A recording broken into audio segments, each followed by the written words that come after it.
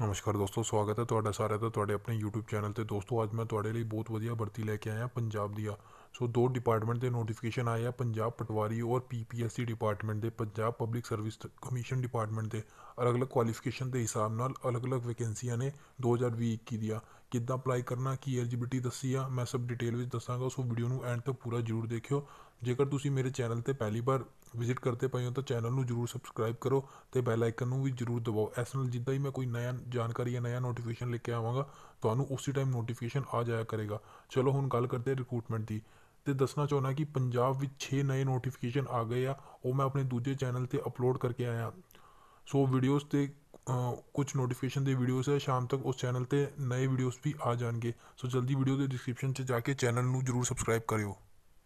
ਦੋਨਾਂ ਚੈਨਲਸ ਨੂੰ ਸਬਸਕ੍ਰਾਈਬ ਕਰਿਓ। ਚਲੋ, ਹੁਣ ਗੱਲ ਕਰਦੇ ਹਾਂ ਰਿਕਰੂਟਮੈਂਟ ਦੀ। ਇਹ ਜਿਹੜੀ ਵੈਕੈਂਸੀ ਆਈਆਂ ਨੇ, ਇਹ ਪੰਜਾਬ ਪਟਵਾਰੀ ਤੇ ਪੀਪੀਐਸਸੀ ਡਿਪਾਰਟਮੈਂਟ ਵਿੱਚ ਵੈਕੈਂਸੀਆਂ ਨੇ। ਠੀਕ ਹੈ? ਇਸ ਤੋਂ ਇਲਾਵਾ ਅਲੱਗ-ਅਲੱਗ ਕੁਆਲੀਫਿਕੇਸ਼ਨ ਦੇ ਹਿਸਾਬ ਨਾਲ ਅਲੱਗ-ਅਲੱਗ ਸਾਰੀ ਵੈਕੈਂਸੀ ਆਈਆਂ ਨੇ। ਸਭ ਤੋਂ ਪਹਿਲਾਂ ਗੱਲ ਕਰਦੇ ਹਾਂ ਇੰਪੋਰਟੈਂਟ ਡੇਟਸ ਦੀ। ਦੋਸਤੋ ਅਪਲਾਈ ਕਰਨਾ ਆਲਰੇਡੀ ਸਟਾਰਟ ਹੋ ਗਿਆ ਹੈ। ਹੁਣ ਗੱਲ ਕਰਦੇ ਹਾਂ ਪੋਸਟ ਦੀ ਅਤੇ ਐਲੀਜੀਬਿਲਿਟੀ ਦੀ। ਸਭ ਤੋਂ ਪਹਿਲਾਂ ਫਸਟ ਨੋਟੀਫਿਕੇਸ਼ਨ ਦੀ ਗੱਲ ਕਰਾਂਗੇ, ਜੋ ਕਿ P P S C Punjab public service commission ਦੀ ਨਿਊ ਭਰਤੀ ਦਾ। ਜਿੱਦਾਂ ਤੁਸੀਂ ਦੋਸਤੋ ਸਕਰੀਨ ਤੇ ਦੇਖ ਸਕਦੇ ਹੋ 17 ਪੋਸਟ ਨਿਕਲੀ ਹੈ ਫੰਕਸ਼ਨਲ ਮੈਨੇਜਰ ਗਰੁੱਪ ਬੀ ਦੀ। ਸੋ ਕੈਟਾਗਰੀ ਵਾਈਜ਼ ਪੋਸਟਾਂ ਦੀ ਗੱਲ ਕਰੀਏ ਤਾਂ ਜਨਰਲ ਕੈਟਾਗਰੀ ਦੀ 7 ਪੋਸਟ ਹੈ ਈਐਸਐਮ ਪੰਜਾਬ ਦੀ 1 ਪੋਸਟ ਹੈ person with disability PWD Punjab the 1 post ਹੈ ਐਸਟੀ ਕੈਟਾਗਰੀ ਦੀ ਇੱਕ ਪੋਸਟ ਹੈ, ਵਾਲਮੀਕੀ ਮਜਬੀ ਮਜਹਬੀ ਸਿੱਖ ਔਰ ਪੰਜਾਬ ਦੀ ਇੱਕ ਪੋਸਟ ਹੈ। ਵਾਲਮੀਕੀ ਮਜਹਬੀ ਸਿੱਖ ਈਐਸਐਮ ਦੀ ਇੱਕ ਪੋਸਟ ਹੈ। ਵਾਲਮੀਕੀ ਮਜਹਬੀ ਸਿੱਖ ਸਪੋਰਟਸ ਪਰਸਨ ਪੰਜਾਬ ਦੀ ਇੱਕ ਪੋਸਟ ਹੈ। ਬੈਕਵਰਡ ਕਲਾਸਿਸ ਪੰਜਾਬ ਦੀ ਤਿੰਨ ਪੋਸਟ ਹੈ ਤੇ economical weaker section EWS Punjab ਦੀ ਇੱਕ ਪੋਸਟ ਹੈ। ਟੋਟਲ 17 ਪੋਸਟ ਹੈ।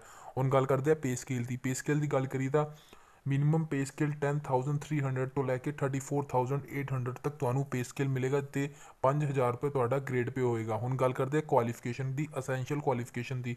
ਸੋ ਫੰਕਸ਼ਨਲ ਮੈਨੇਜਰ ਪੋਸਟ ਲਈ ਜਿਹੜੇ ਵੀ ਕੈਂਡੀਡੇਟਸ ਨੇ ਇੰਜੀਨੀਅਰਿੰਗ ਕੀਤੀ ਹੋਈ ਹੈ ਜਾਂ ਫਿਰ ਡਿਗਰੀ ਕੀਤੀ ਹੋਤੀ ਹੈ ਡਿਗਰੀ ਕੀਤੀ ਹੋਈ ਹੈ engineering in textile technology from a university ਉਹ ਸਾਰੇ ਕੈਂਡੀਡੇਟਸ ਅਪਲਾਈ ਕਰ ਸਕਦੇ ਨੇ। ਠੀਕ ਹੈ, ਇਸ ਤੋਂ ਇਲਾਵਾ ਅਗਰ ਤੁਸੀਂ ਡਿਪਲੋਮਾ ਕੀਤਾ ਹੋਇਆ ਇਨ ਐਨੀ discipline in engineering or in branch of textile technology ਤਾਂ ਵੀ ਤੁਸੀਂ ਅਪਲਾਈ ਕਰ ਸਕਦੇ ਹੋ। ਇਸ ਤੋਂ ਇਲਾਵਾ ਇਹਨਾਂ ਨੇ ਦੱਸਿਆ ਕਿ ਪੰਜਾਬੀ ਆਣੀ ਚਾਹੀਦੀ ਹੈ, ਠੀਕ ਹੈ? In 10th class you should have you should have Punjabi in your 10th class ਤੇ ਹੁਣ ਗੱਲ ਕਰਦੇ ਆ ਏਜ ਦੀ। ਤਾਂ ਮਿਨੀਮਮ 18 ਇਅਰਸ ਏਜ ਹੋਣੀ ਚਾਹੀਦੀ ਹੈ ਮੈਕਸਿਮਮ 37 ਇਅਰਸ ਏਜ ਹੋਣੀ ਚਾਹੀਦੀ ਹੈ। ਤੇ ਏਜ ਵਿੱਚ relaxation as as on category ਦਿੱਤਾ ਜਾਏਗਾ। ਅਲੱਗ-ਅਲੱਗ ਕੈਟਾਗਰੀ ਵਾਈਜ਼ ਅਲੱਗ-ਅਲੱਗ ਰਿਲੈਕਸੇਸ਼ਨ ਦਿੱਤਾ ਜਾਏਗਾ। ਏਜ ਵਿੱਚ ਤੇ ਏਜ ਤੁਹਾਡੀ ਕੈਲਕੂਲੇਟਰ ਕੈਲਕੂਲੇਟ ਹੋਏਗੀ 11 2020 ਦੇ ਅਕੋਰਡਿੰਗ ਹੁਣ ਗੱਲ ਕਰਦੇ ਆ ਦੋਸਤੋ ਸੈਕਿੰਡ ਨੋਟੀਫਿਕੇਸ਼ਨ ਦੀ ਜੋ ਕਿ ਪੰਜਾਬ ਪਟਵਾਰੀ ਦਾ ਆਇਆ।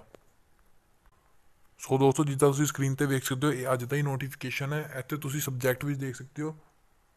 ਮਾਲ ਵਿਭਾਗ ਵਿੱਚ ਮਾਲ ਪਟਵਾਰੀ ਦੀਆਂ 1090 ਅਸਾਮੀਆਂ ਭਰਤੀ ਕਰਨ ਵਾਸਤੇ। ਸੋ ਇੱਥੇ ਤੁਸੀਂ ਨੀਚੇ ਸਕਰੋਲ ਕਰਕੇ ਪਹਿਲਾਂ ਤੁਸੀਂ ਇੱਥੇ ਜਿੰਨੇ ਵੀ ਵਰਤੀ ਹੈ 1090 ਪੇ ਸਕੇਲ ਵੇਖ ਸਕਦੇ ਹੋ। 10300 ਤੋਂ ਲੈ ਕੇ 34800 ਤੱਕ ਪੇ ਸਕੇਲ ਮਿਲੇਗਾ ਤੇ 3200 ਰੁਪਏ ਤੁਹਾਡਾ ਗ੍ਰੇਡ ਪੇ ਹੋਊਗਾ। ਤੇ ਇੱਥੇ ਟੋਟਲ 1090 ਜਿਹੜੀ ਵੈਕੈਂਸੀ ਹੈ, ਉਹਨਾਂ ਨੂੰ ਡਿਵਾਈਡ ਕੀਤਾ ਹੋਇਆ ਕੈਟਾਗਰੀ ਵਾਈਜ਼ ਤੇ ਇੱਥੇ ਤੁਸੀਂ ਵੇਖ ਸਕਦੇ ਹੋ, ਠੀਕ ਹੈ?